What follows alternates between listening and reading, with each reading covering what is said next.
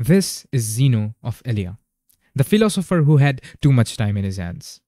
He gave out many paradoxes, and this is one of them, presenting to you Zeno's dichotomy paradox.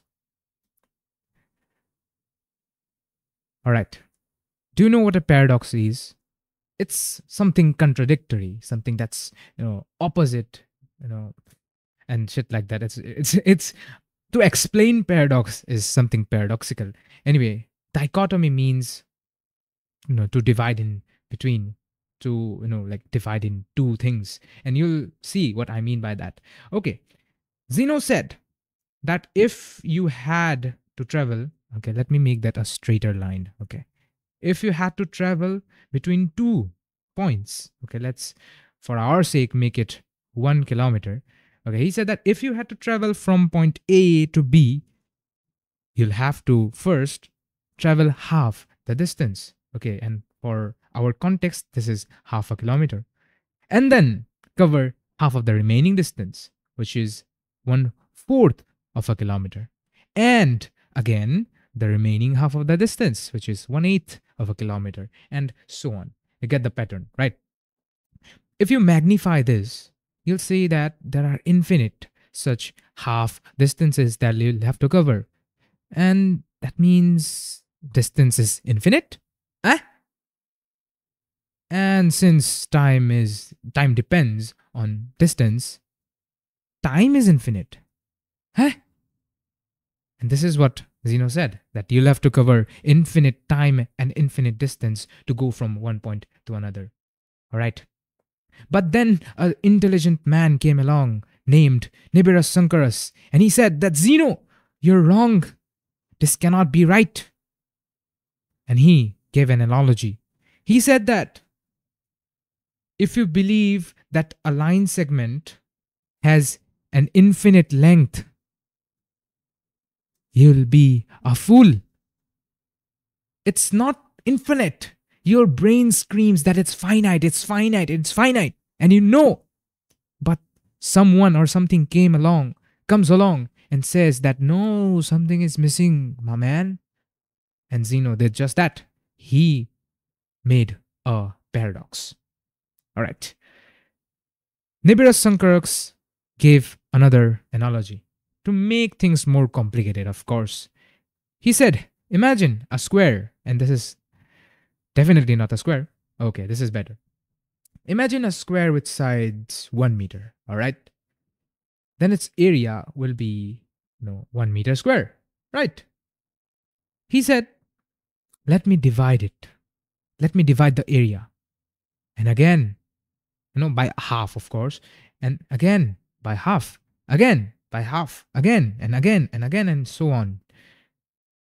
He said, Do you disagree when I say that the sum of all these areas, okay, all these areas, all these areas equal to 1 meter square? Will you disagree? Of course not. Of course not. It will, it needs to equal to 1 meter square. Right? And this is what Zeno didn't know that sometimes, sometimes infinite sums have a finite result. And this is the representation of Zeno's paradox. This is the intuitive answer, right? You have the distances, you have the distances, and if you add them up, it will result in one, you know, one kilometer, one meter square, whatever. It will be 100%. Right?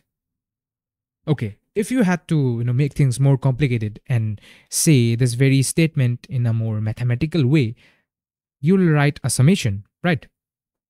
You'll say that, um, let's take it is equal to 1.